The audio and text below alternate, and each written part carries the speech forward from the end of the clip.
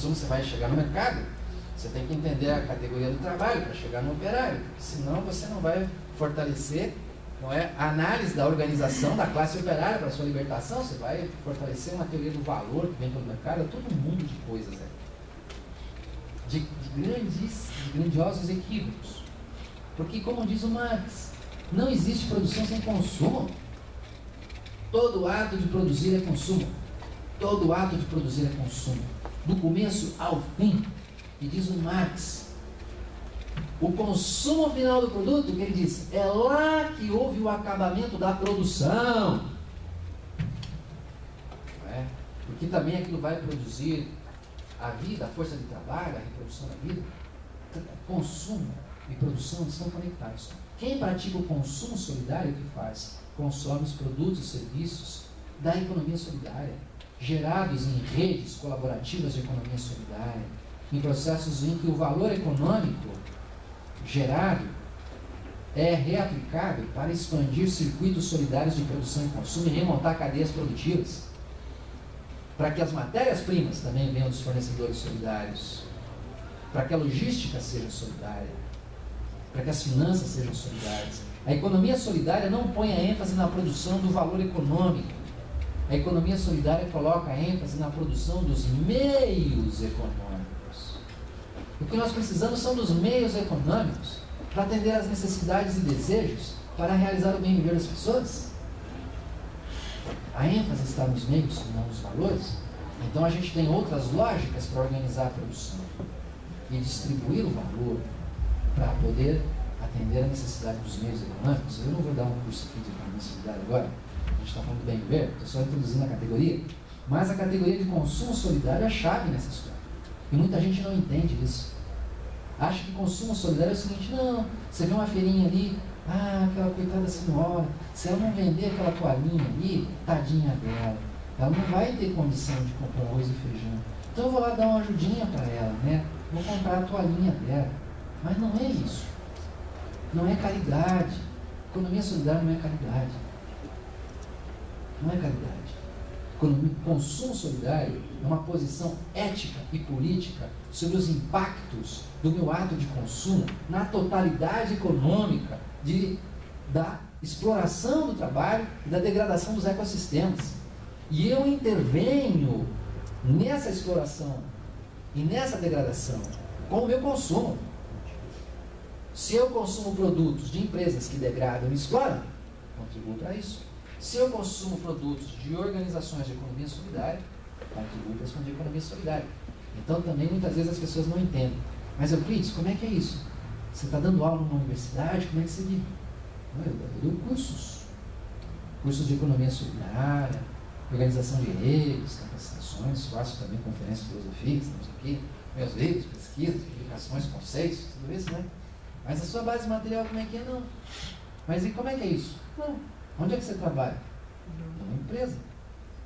Mas uma empresa do quê? Uma empresa de economia solidária. Eu sou um trabalhador da economia solidária. Trabalho numa empresa de economia solidária. Com outros colegas. Sou proprietário de um empreendimento de economia solidária. Uma coisa tão estranha, né? Isso, né? Um filósofo. Mas quem é? Mas você é diretor de uma empresa de economia solidária? Eu sou. E estou lá praticando economia solidária. Porque nós estamos falando de libertação. Não estamos falando de discussão acadêmica, teórica. Nós estamos falando de libertação. Eu tenho que ser coerente com a minha praxis. Não estou dizendo que quem não vive na economia solidária não é coerente, não é isso não. A gente trabalha onde a gente pode trabalhar, né? E cada um tem a liberdade de escolher onde quer trabalhar. Mas me parece que é melhor trabalhar num local onde existe a autogestão, em que eu posso determinar, junto com os meus companheiros, como nós organizamos o nosso trabalho, como vamos produzir, o que vamos fazer, como fazer e tudo mais, o resultado disso de forma solidária e contribuir com outras organizações de economia solidária e redes para expandir a economia solidária no mundo, não é? do que trabalhar num ambiente em que eu não tivesse a mais total autonomia, que é a que eu tenho, de poder decidir plenamente da minha vida que eu não teria se eu estivesse em outro lugar. Não é? Então, é, o tema do consumo ele está articulado com o tema da produção. Infelizmente, quando traduzido para o francês o meu livro, me mataram francês. Me mataram, me assassinaram. Eu não consegui que a editora retirasse os livros de circulação. Então, fizeram coisas horríveis. Fizeram coisas horríveis. Então, essa frase que era consumo solidário, eles simplesmente traduziram por comércio equitável, por comércio justo. Não tem nada a ver. Ninguém tem que sair vendendo coisa, né? atuar como comerciante para participar desse processo. Não. A gente tem que. Os nossos fluxos econômicos. Então, a sua liberdade supõe fluxos materiais, não é? Você necessita de meios materiais para sobreviver. Pois bem, como é que esse processo de obtenção desses meios impacta nos ecossistemas?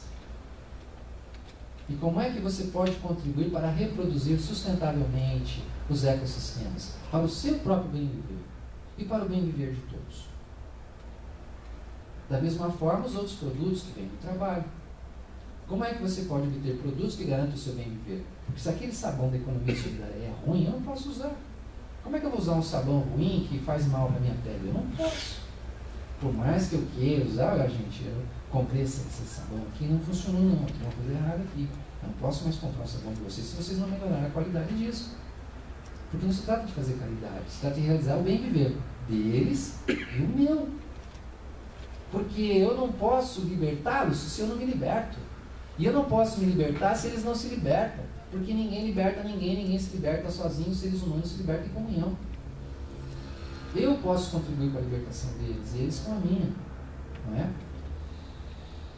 Então, na medida em que o consumo solidário se expanda, ele pode ser a mediação de uma nova economia, em que seja abolida a exploração dos trabalhadores.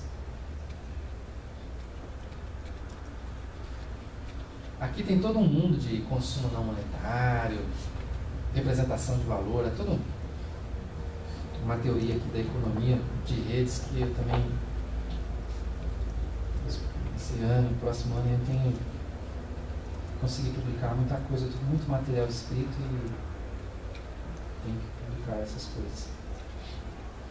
Então, o consumo é um momento de realização de fluxos materiais e semióticos que integram a nossa subjetividade e a subjetividade das outras pessoas. Se eu consumo o produto do, que me é vendido pelo explorador, que matou o indígena, que destruiu a floresta, estou incorporando e reproduzindo a dominação. Conscientemente, inconscientemente, de maneira alienável, não, mas estou contribuindo com meus fluxos econômicos, materialmente. Por isso a economia da dádiva é um grande equívoco. Não é que é um grande equívoco. Ela surge na análise na, na dádiva africana. Mas alguns desenvolveram a seguinte tese: olha, o mercado é a compra, a venda, é, então há o interesse. Agora, quando você está numa situação que você dá ao outro alguma coisa, sem querer nada em troca, Ora, esse é o momento da gratuidade, da dádiva. Essa é a negação do mercado, essa é a negação do interesse, porque você dá sem esperança da reciprocidade. Então, esse é um gesto de negação do sistema que constrói uma outra economia, uma economia do dom, uma economia da dádiva. Gente, isso daqui é muita ingenuidade. Tem que considerar o fluxo econômico. Se isso que eu estou dando de presente para o Brasil, como é que foi produzido? Mas se isso daqui explorou gente lá, destruiu o planeta lá, o fato de eu estar dando isso aqui para alguém de presente, não é que eu estou questionando o sistema, eu estou é reproduzindo o sistema do meu fluxo econômico. Entende?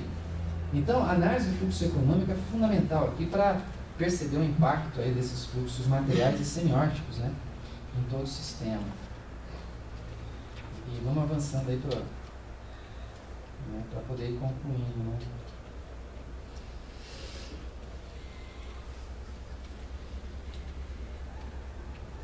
Isso é uma outra coisa importante. Está lá na Revolução das Redes também. Bom, então, bem viver é a categoria-chave que dá um sentido à liberdade. Bacana. Consumo nos permite a realização do gozo, satisfação das necessidades, dos desejos, nos torna autônomos ainda que somos dependentes dos ecossistemas e das plantas que estão produzindo oxigênio agora, e das pessoas. Né?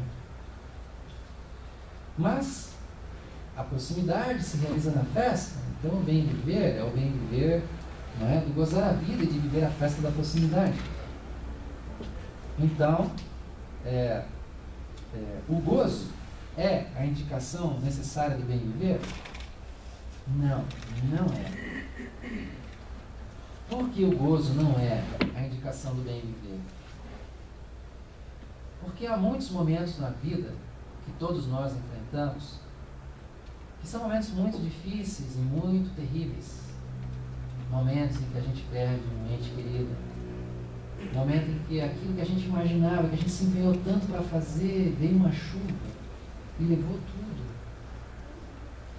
Cara, ele estava terminando a tese de doutorado dele, deu um pau no computador, queimou o HD, ele não tinha um disco, não tinha uma cópia daquele negócio. O cara tá arrasado. Nesse momento que a gente está arrasado,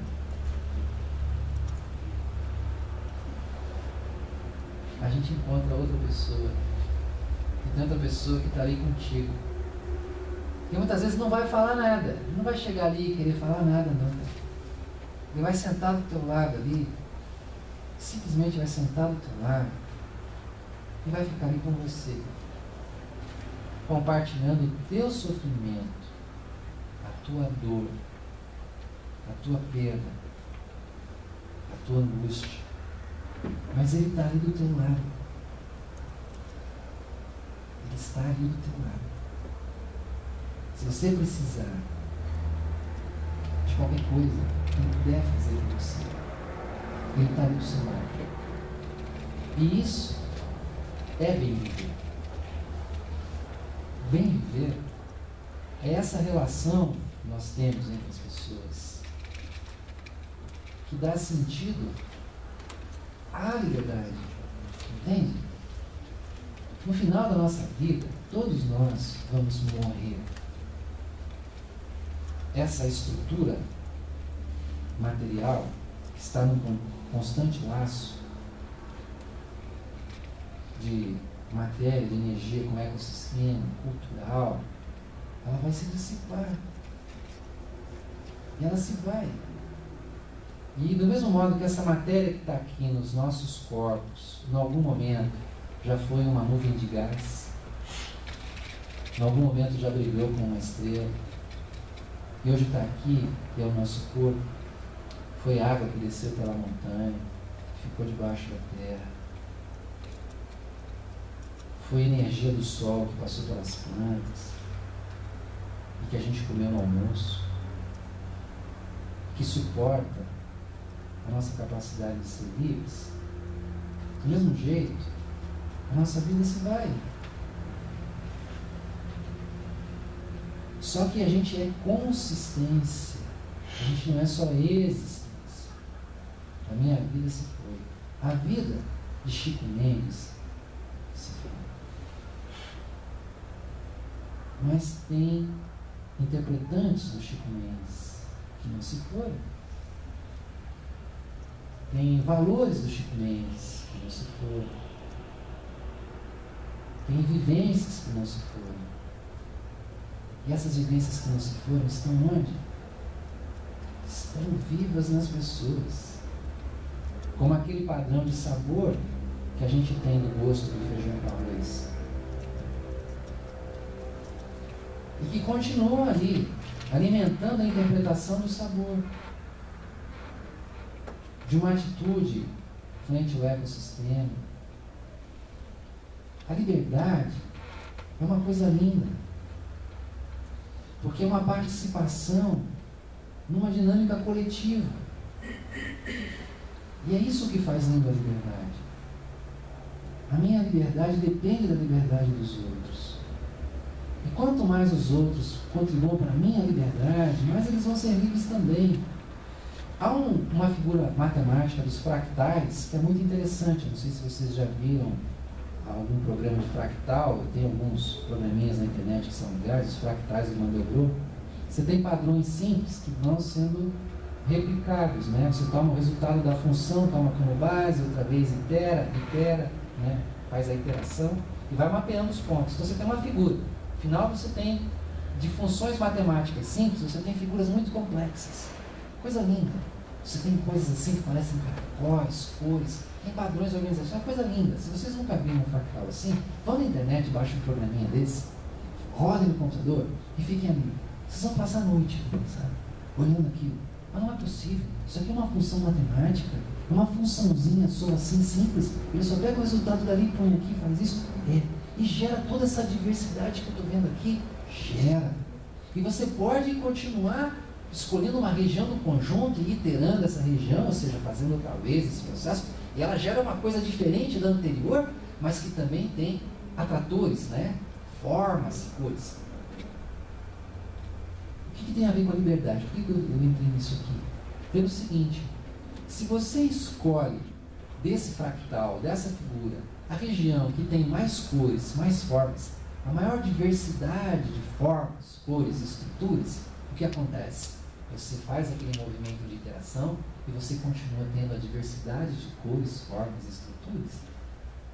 Mas se você prefere excluir a diversidade e prefere ficar naquela região que tem a menor quantidade de cor ou forma, escolhe aquela região para fazer o processo, o que acontece depois de duas, três vezes que você faz isso, você simplesmente destruiu a sua liberdade de escolher. Porque você já não tem mais forma nenhuma e não tem mais cor nenhuma. Você só vai ter uma cor, uma tela, uma única cor e mais nada. Por quê? Porque a sua liberdade individual de fazer escolhas aniquilou a sua própria liberdade de escolher. Porque quanto mais a gente promove as liberdades, Quanto mais danças diferentes forem possíveis de dançar, mais possibilidades de danças eu poderei dançar. Quanto mais diferentes forem os sabores, mais sabores eu posso experimentar. Quanto mais diferentes visões de mundo existir, mais diferentes visões de mundo eu poderei usufruir. Quanto mais poemas forem feitos, mais poesia eu vou poder desfrutar. Quanto mais livres forem as outras pessoas, mais livre eu poderei ser se todos promoverem o bem viver de todos. Né? A gente está operando na lógica do bem viver, a liberdade exercida com a base do bem viver. Então isso é fantástico, porque a gente morreu. A gente se foi, cara. Um dia a gente se vai. Isso é a, é a vida. Eu morri aí? Não, não morri não. Ah, porque tem uma alma que foi para o céu. Nada disso não. Nada disso não. Porque a gente faz parte dessa liberdade, entendeu? O que a gente consegue agregar de valores. Se você fez um poema, esse poema que você fez vai ficar para gerações futuras. Se você fez uma música, é a sua música que ficou. Se você inventou um ritmo, você criou um interpretante. E isso que você deixou fica para gerações futuras. Do mesmo jeito que hoje a gente olha para o céu e vê estrelas, que não existem mais. Elas não existem. A gente olha para o céu, mas está lá, eu estou vendo. Não, não existe. Como não existe? Eu estou vendo a estrela ali. Ela não existe. O que você está vendo é o passado. Como passado? Ela existiu no passado. Ela emitiu luz. E a luz que ela emitiu continua vindo para cá. Mas a estrela mesmo já acabou, ela não existe mais. Você continua vendo uma coisa que não existe. Né? Aqui tem todo o tema da relatividade, etc. É assim também. Não existe, cara. Não morreu. Morreu que continuam figuras. Paulo Freire, cara, morreu Paulo Freire? Claro, Paulo Freire está sepultado, enterrado na existência dele, certo?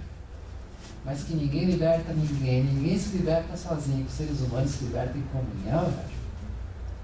Ah, Paulo Freire está aqui. Ele está vivo, não é? Pelo interpretante que ele nos deixa, entende? Porque a liberdade dele, que ele exerceu, continua contribuindo hoje, aqui, agora, para que a minha liberdade possa se expandir. Do mesmo jeito que uma estrela que não existe mais, eu posso olhar para o céu e falar, não, tá ali, esse é o caminho. É, se eu fosse um navegador, estivesse no barco, perdido, sem busca, e soubesse ler as estrelas, né? Coisa que eu não sei fazer. Mas é isso, né? Muito legal. Então, o tema da liberdade e da solidariedade é muito amplo. E os conceitos vão sempre sendo reformulados. Agora,